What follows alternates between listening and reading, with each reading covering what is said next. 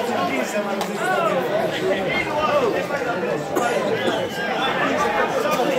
Riccardo, va bene, non è scombinare.